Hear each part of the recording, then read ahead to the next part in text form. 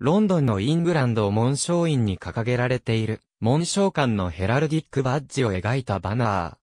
紋章館は、君主や領主などの支配者または国家によって任命され、次の役目の一つ以上を実行する権限を与えられたもの、及びその役職である。チャールズ2世に仕えた、オランダ人のイングランド宮廷画家、ピーター・レリーが描いたヘラルド。衣装に描かれている紋章は、イングランド王ジェームズ1世からジェームズ2世までの4代に渡り、1603年から1688年まで使われたものである。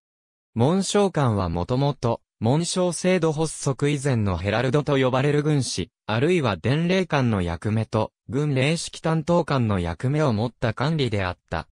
ヘラルドは、各国の国王に直属で使えたり、自由契約として領主に雇われるなどしていたが、紋章制度が確立されてくると、紋章の管理も担当するようになっていった。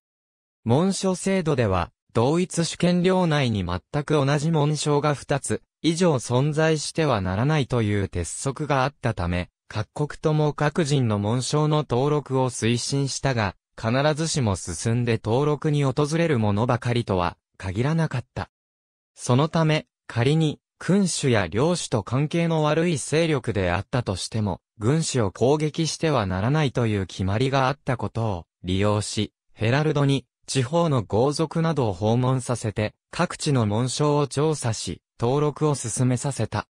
また、ヘラルドは一般の旅行者などと間違われて攻撃されないよう、自分がヘラルドであることが一見して判別できるように、使える国王や領主などの紋章を大きく描いたタバードと呼ばれる上着を身につけていた。後に、ヘラルドは、軍師、伝令官の役割を失い、違反紋章や、重複紋章の摘発などの紋章調査に関する職務だけが残った。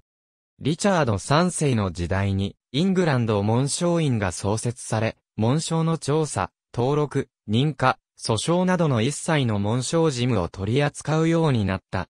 英語では、紋章官をも意味するようになったが、元々の伝令や布告者の意味は、廃れてはいないため、現在でも英語圏の新聞紙名としてよく使われている。紋章官には、伝統的に、 King of Arms、 Herald of Arms、 Pursuivant of Arms の3つの位がある。任命された役職が、終身のものである紋章官は、常任紋章官一時的または不定期な任命である場合は、臨時紋章官となる。なお、日本語では、 King of Armsは、紋章院長官や、紋章院部長、 Herald of Arms は、中級紋章官、 Pursuivant of Arms は、紋章属官、紋章官補などと、それぞれ訳されるが、いずれも、定訳ではない。紋章院総裁である Earl Marshal を除き、イングランド紋章院に、長官がいるとすれば筆頭紋章官である、 Garter Principal King of Arms のことであり、3人いる、キングオブアームズを全員、長官と呼ぶのは少なくとも適切ではない。貴族の家の成立に際してヘラルドまたは、パーシバントを任ずる中世の習慣は、ヨーロッパ諸国、特に公的な紋章の管理または、承認がない国で、未だ一般的である。そのような任命は、スコットランドでもまだなされており、4名の施設紋章官が存在する。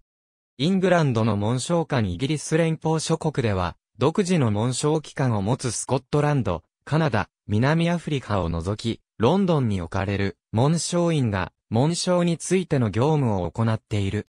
紋章院の常任紋章官は、 King of Arms 3名、 Herald of Arms 6名、 Pursuivant of Arms 4名の合計13名で構成され、王室の一員として、ほんのわずかばかりの給料を支給される。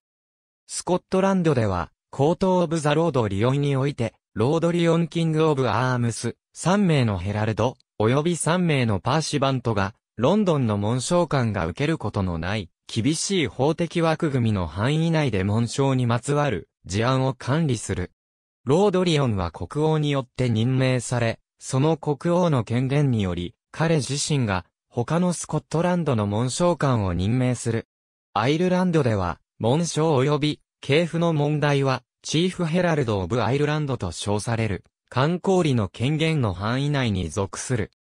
アイルランドの紋章に関する権利、つまり1943年以降に承認、登録されたすべての紋章に対する法的根拠に、司法長官が疑問を呈したため、2006年5月8日に、ブレンダン・ライアン上院議員はこの状況を救済し、アルスター King of Arms からの権限の移行以来の活動を合法化するために、アイルランド上院に系譜及び、紋章法案を上程した。オランダでは、紋章官は、終身の役職としては存在しない。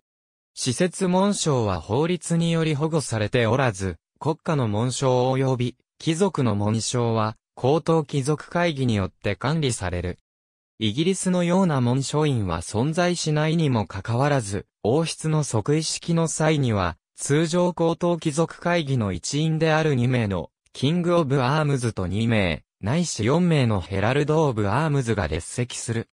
1890年のウィルヘルミナ女王及び1948年のユリアナ女王の即位の際、 King of Arms は19世紀のスタイルの法服を着用したのに対し、 Herald はタバードを着用していた。また、すべての紋章官は、職杖を持っており、職位を示す鎖を身につけていた。